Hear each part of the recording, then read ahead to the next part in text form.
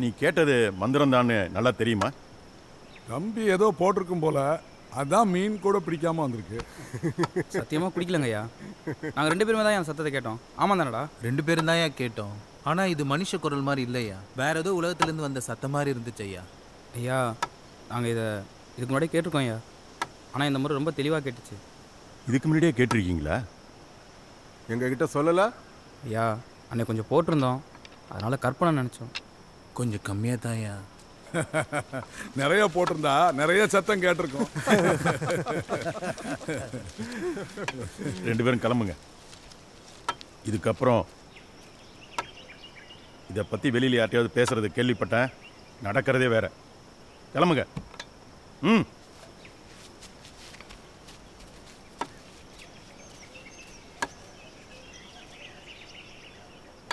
நீயும் அதை கேட்டிருக்க. சரியா? ஆமாம் அவங்க சொல்கிற மந்திரத்தை நானும் கேட்டிருக்கேன். படகை விட்டு கீழே இறங்கி போய் காட்டுக்குள்ளே நானும் பார்த்தேன். ஆனால் அங்கே எதுவும் தெரியல. அப்படின்னா அந்த சத்தம் ராத்திரியில் மட்டும்தான் கேட்குமா ஆமாம் பொழுது சாயிற நேரத்தில். ஏற்கனவே நம்ம கிராமத்தில் சாபம் இருக்கு. தலைச்ச புள்ள குருடா பிறக்கிறது. கடவுளே இதுக்கு மேல வேற என்ன சாபம் இருக்கு? ஒருவேளை அது சாவும் இல்லாமல் தீர்வாக இருக்குமோ? இல்லை நம்ம வேண்டதில் கிடைச்ச பதிலாக இருக்குமோ? இதுக்கு ஒரே வழி தான் இருக்கு. அந்த குரல் கேட்குற இடத்துக்கு போகணும்.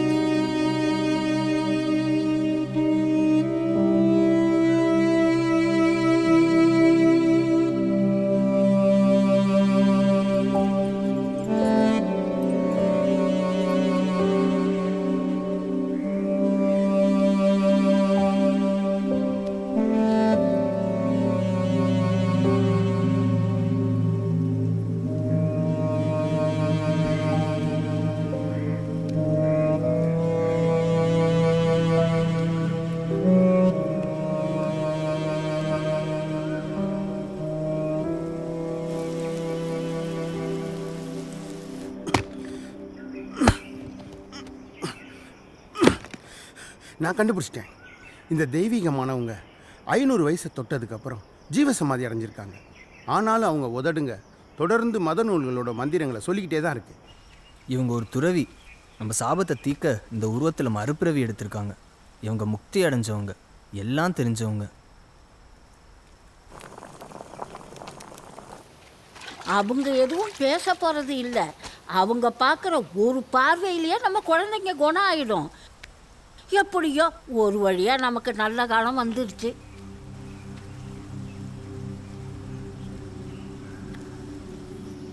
ம் வணக்கம்மா. அம்மா இந்த நாளுக்காக நாங்கள் எப்படி காத்துக்கிட்டு இருந்தோம்னு உங்களுக்கு தெரியாது. தயவு செஞ்சு எங்ககிட்ட சொல்லுங்க. நீங்கள் எங்கேருந்து வந்திருக்கீங்க? நீங்கள் அடைஞ்ச சமாதியிலேருந்து வெளியே வரணும்னு ஏன் முடிவு செஞ்சீங்க? நான் எங்கிருந்து வந்தேன் என்று எனக்கு தெரியாது. நான் எங்கே செல்ல போகிறேன் என்பதும் எனக்கு தெரியாது. முந்தைய பிறவி எனக்கு நினைவில்லை. அடுத்த பிறவி யாருக்கும் தெரியாது. நான் வாழ்வது இந்த நொடியில் நீங்கள் வைத்திருக்கும் அன்பின் மத்தியில். ஐயா அவங்களுக்கு கொஞ்சம் நேரம் கொடுக்கணும். பல விஷயங்களை கடந்து வந்திருக்காங்க. அவங்க நினைவுகளை மீட்டெடுக்க கொஞ்சம் காலம் ஆகும். எல்லாம் தெரிஞ்ச துறவிக்கு வைத்தியம் தேவைப்படுதா? ஆ.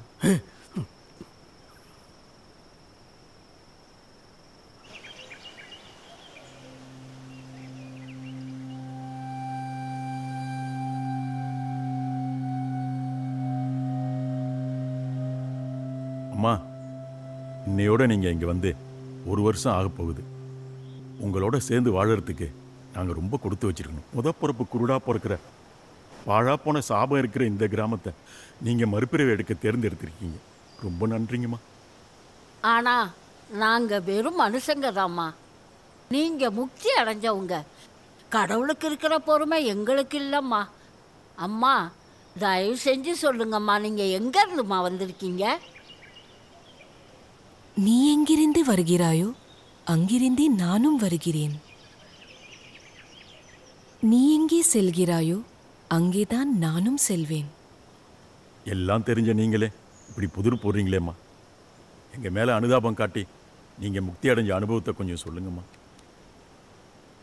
இது முக்தி என்றால் மறுபிறப்பு இருந்திருக்க முடியாது. மறுபிறப்பாக இருந்தால் நான் அடைந்தது முக்தி அல்ல. அல்லது மறுபிறப்பிற்கும் முக்திக்கும் எந்தவித சம்பந்தமும் இல்லை என்று சொல்ல விரும்புகிறீர்களா?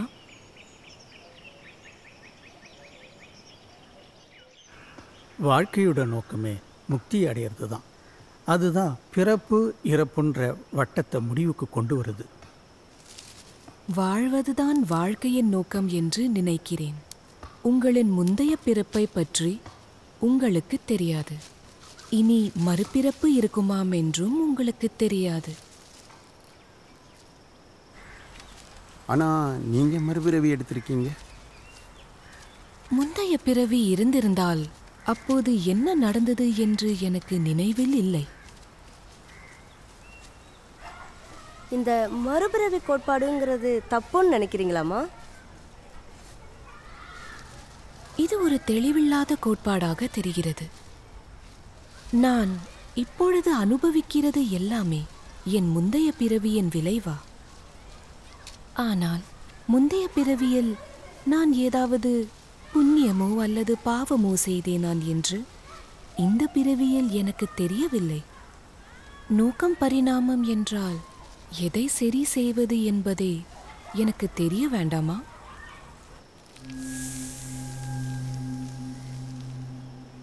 அப்போ போன ஜென்மத்தை ஞாபகத்தோட தான் பிறக்கணும்னு சொல்றீங்களா? பரிணாமம்தான் நோக்கம் என்றால். ஆமாம். காலம் கடந்தது உடல் அல்ல. ஆத்மாதான். அந்த ஆத்மாவுக்கு எல்லாம் தெரியும். அப்படியா? உங்கள் ஆத்மாவிற்கு என்ன நினைவிருக்கிறது? நீங்கள் செஞ்ச பாவங்கள்லாம் தெரியும். அது மட்டும் இல்லாமல் நீங்கள் ஏன் மறுஜென்மம் எடுக்கணும்னு தெரியும்? நான் ஒரு மிகப்பெரிய பாவம் செய்துவிட்டால். ஒரு புழுவாக கூட பிறக்கக்கூடுமா? அடுத்த பிறவியில் அந்த புழு ஒரு குதிரையாக பிறக்க விரும்பினால் அது என்ன புண்ணியம் செய்ய வேண்டும்? நீங்க எங்களை குறைச்சு மதிப்பிடுறீங்க. ஆனாலும் நீங்க சொல்றத நாங்க கேட்குறோம். என்ன இருந்தாலும் நீங்க மறுஜென்மம் எடுத்தவங்க. நான் உங்களை அலட்சியப்படுத்தவில்லை. இந்த கோட்பாட்டின் தர்க்கத்தை புரிந்து கொள்வதில்தான் சிரமப்படுகிறேன். நியாயமானது. அப்போ நீங்கள் சொல்லுங்கள் நடைமுறை என்னன்னு. உங்கள் முன்ஜென்மம் தெரியலனா நீங்கள் திரும்ப வந்ததுக்கான காரணம் என்ன? எந்த மனித உயிரும் கடந்த கால நினைவுகளுடன் பிறப்பதில்லை. அதனால் மனித இனத்திற்கே எந்த அர்த்தமும் இல்லை என்று நீங்கள் நினைக்கிறீர்களா? அது தவறு. நான் நினைக்கிறேன் உங்களுக்கு ஒரு வாழ்க்கை கொடுக்கப்பட்டால் அதை முழுமையாக வாழ்வதே அதன் நோக்கம். அப்போ நீங்க வாழ கத்துக்கிட்டீங்களா? இரண்டு முறை என்று கூறுகிறார்கள்.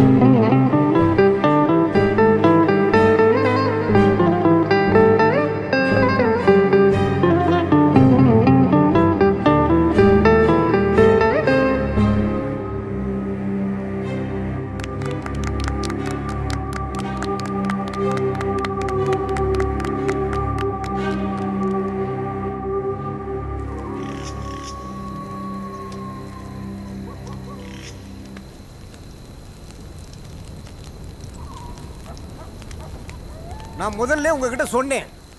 அவன் ஒரு மந்திரகாரி தந்திரகாரி. அவன் நம்ம நம்பிக்கையில விளையாடிட்டு போயிட்டான் இந்த தடவை இவன் சொல்றத நான் ஒத்துக்கிறேன்.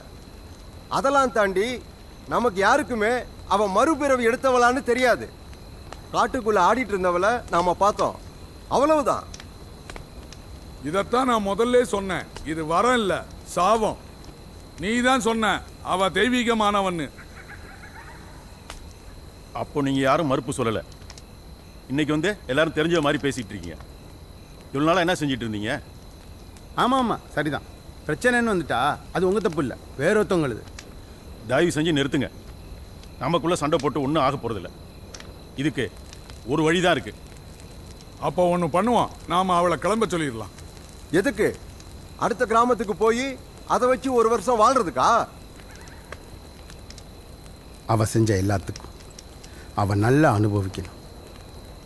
நம்ம வழியை பார்த்து சிரிச்சதுக்கு நம்ம அன்பளிப்பையும் உபசரிப்பையும் நல்லா அனுபவிச்சதுக்கு அவளுக்கு நல்ல பாடம் போட்டணும் அவ செஞ்ச எல்லாத்துக்கும் அவ அனுபவிக்கணும்.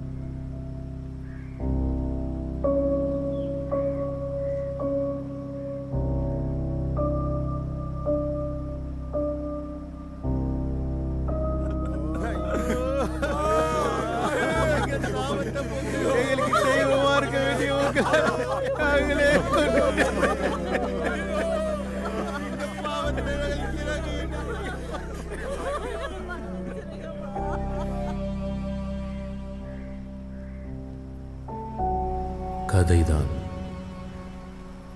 காலம் தன் காலால் நடந்த கதைதான்.